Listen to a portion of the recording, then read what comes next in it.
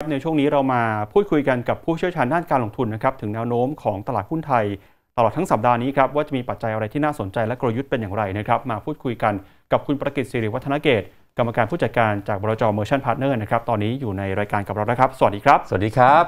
ครับ สวัสดีครับครับพี่ปิงครับวันนี้ภาพรวมหุ้นไทยนะครับเด้งขึ้นมาได้ประมาณ 12 จุดนะครับแต่ว่าทิศทาง อาอย่างที่พี่ปิงเคยบอกมาก่อนหน้านี้ จังหวะเวลาเนี่ยบางครั้งมันอาจจะมีเด้งเพื่อลงต่ออย่างนี้ ณตอนนี้เองเนี่ยยังเป็นเหตุผลเดิมหรือเปล่าครับ เมื่อมองปัจจัยภายในอนาคตข้างหน้าที่รออยู่นะครับยังเป็นอย่างนั้นอยู่อืมนะครับยังเป็นอย่างนั้นอยู่เพียงแต่ว่าช่วงช่วงนี้เนี่ยมันเป็นช่วงที่เริ่มฟื้นตัวหลังจากที่ลงมาเยอะนะครับเอ่อประกอบกับก็ข่าวดีเริ่มมีเข้ามาเรื่อยๆนะครับ เช่น การเปิดรับนักท่องเที่ยวและจำนวนนักท่องเที่ยวได้ค่อนข้างดีเป็นไปตามเป้า นะครับ ตั้งแต่ที่เราเปิดรับมาตั้งแต่ต้นปีก็ตอนนี้ก็เกือบล้านคนแล้วนะอืมฮะนั้นเป้าหมายปีนี้3ล้านคนมันก็เป็นไปได้นะครับมันก็มีทำให้มีความคาดหวังเรื่องของเอ่อเศรษฐกิจที่จะฟื้นตัวจากการที่มีนักท่องเที่ยวเข้ามาเนี่ย มันก็มีความคาดหวังตรงนี้กันนะครับ แล้วก็เผอิญบรรยากาศการลงทุนต่างประเทศเนี่ย มันก็เบาๆลงพอดีครับนะครับตลาดหุ้นสหรัฐเองก็ปรับลดลงจากยอดได้20%แปลว่ากำลังจะเข้าสู่สภาวะแบร์มาเก็ตแล้ว นะครับและแต่ทุกว่าทุกครั้งถ้าเกิดมันไม่ได้มีแพนิคลงแบบชาร์ปลี่อะไรเนี่ยเอ่อเวลาลงมาที่ภาวะเอ่อเวลาลงมาที่ระดับ 20%เนี่ยมันต้องมีเด้งก่อนอืมฮึนะครับช่วงเนี้ยมันก็เลยทำให้ตลาดมีความคาดหวังไงครับว่าจะมีเด้งแล้วก็เอ่อมีประเด็นเรื่องของโจไบเดนด้วยนะฮะไปที่ญี่ปุ่นนะครับอืมจริงๆแล้วเขาก็ไปหาพวกอะนะครับแต่ว่าก็ทำให้คนมีความคาดหวังว่า จะมีเรื่องการทำข้อตกลงการค้าฉบับใหม่กับจีนนะเพราะดูเหมือนว่าโจไบเดนจะมีเปรยๆที่ญี่ปุ่นว่าอยากจะทำข้อตกลงการค้าฉบับใหม่กับหลายประเทศในเอเชียนะครับอะตลาดมันก็มีความหวังช่วงนี้ก็ฟื้นขึ้นมานะครับแต่ผมคิดว่าเป็นการฟื้นขึ้นมาที่ค่อนข้างอ่อนแอ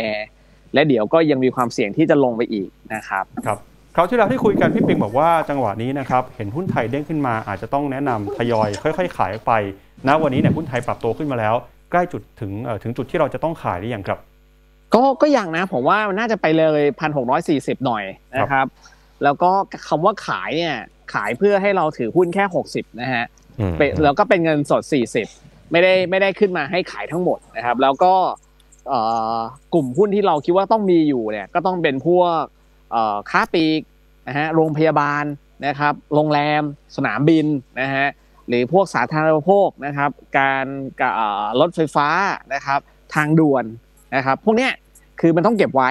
นะครับ เพราะว่ากำลังซื้อในประเทศเนี่ยอาจจะอยู่เขียวๆนะฮะแต่ว่าก็อย่างที่บอกว่าเรามีเรื่องตีมเรื่องรีโอเพนนะครับที่เหลือเนี่ยคือขึ้นมาแล้วเราอาจจะต้องทยอยขายเพื่อถือเงินให้ได้ 40%เพราะว่าผมมองว่าตลาดหุ้นไทยมันยังมีประเด็นลบรออยู่ โดยเฉพาะเรื่องของ e a r n i n g ไตรมาสสองไตรมาสสามที่จะแย่ลงมา แน่ ๆนะครับ แล้วก็เรื่องของคลื่นเงินเฟ้อซึ่งเรายังไม่ได้เอ่อเจอคลื่นใหญ่เลย ที่ผ่านมานี่ยังเป็นแค่น้ำจิ้มนะอืฮะมฮึรวมไปถึงต้นเดือนหน้าเนี่ยอย่าลืมว่าเขาจะเริ่มทำ QT แล้วอืมนะสภาพคล่องสภาพการลงทุนในสินทรัพย์เสี่ยงทั่วโลกมันก็จะแย่ลงครับ อืมฮะพี่ปิงครับแต่ว่าอีกหนึ่งสมมติฐานที่คนมองเหมือนกันก็คือภาพของตลาดหุ้นไทยด้วยความที่ผ่านมาเนี่ยมันอาจจะไม่ได้มีการพุ่งแรงเมื่อเทียบเท่ากับต่างประเทศนะครับอ่ากรอบหรือพี่ดาครับในการปรับลดลงเนี่ยมันอาจจะน้อยกว่าเมื่อเทียบกับต่างชาติไหมครับพี่ ใช่ใช่ผมอืมว่าก็น้อยกว่าอยู่แล้วเพราะตั้งแต่ต้นปีถึงตอนนี้แม้ว่าจะเราจะซึมซึมๆลงมาก็ยังติดลบไม่กี่เปอร์เซ็นต์นะครับแล้วรอบนี้เนี่ย ต่อให้มันลงไปลึกๆนะฮะถึงพันห้าร้อยี่สิบเนี่ย ก็ยังถือว่าลบน้อยมากครัแต่บก็ถือว่าเป็นแค่การปรับฐานธรรมดาธรรมดาเท่านั้นนะครับแล้วผมก็เชื่อว่า พอเราลงไปพันห้าร้อยี่สิบซึ่งมันต้องใช้เวลาอีกสักสามสี่ห้าเดือนเนี่ยณจุดนั้นเนี่ยมันมีโอกาสที่ตลาดหุ้นไทยจะฟื้นจะมีสูงมากเพราะมันจะมีประเด็นเรื่องการเมืองการยุบสภาและเลือกตั้งใหม่ นะครับอืมอืมก็สรุปแล้วอะหุ้นไทยมันดูแข็งแกร่งมีประเด็นบวกครับเพียงแต่ว่า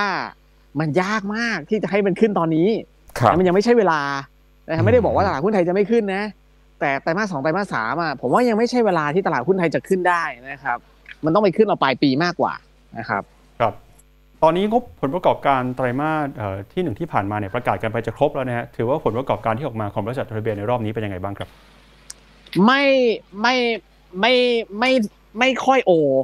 คือมันอาจจะดูเยอะนะครับสองแสนแปดหมื่นกว่าล้านเกือบสองแสนเก้าแต่ถือว่าต่ำกว่าที่ผมคาดที่สามแสนกับอีกห้าพันนะครับ พอผลประกอบการออกมาเป็นแบบนี้เนี่ยมันจะเห็นได้ว่าหลาย ๆ บริษัทอะออกมาแล้วต่ำคาดนะครับไอ้ที่ออกมาดีเนี่ย ส่วนใหญ่แล้วเป็นเป็นพลังงานปิโตรใช่ไหมครับ แต่ถ้าอะไรก็ตามที่เกี่ยวข้องกับเอ่อการอุปโภคบริโภคหรือกำลังซื้อในประเทศเนี่ยมันเริ่มเห็นสัญญาณไม่ดี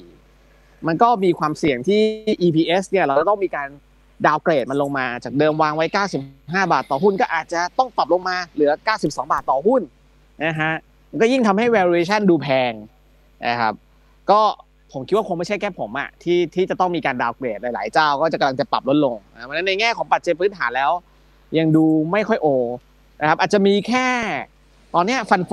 ที่มันเข้ามาแบบดูเดือดนะฮะตั้งแต่เมื่อสัปดาห์ที่แล้วเข้ามา 9,000 ล้านครับดูดี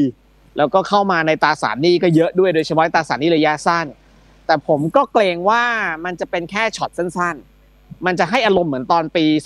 2018-2019 ครับ มันจะมีบางช่วงเนี่ยที่เข้ามาเยอะ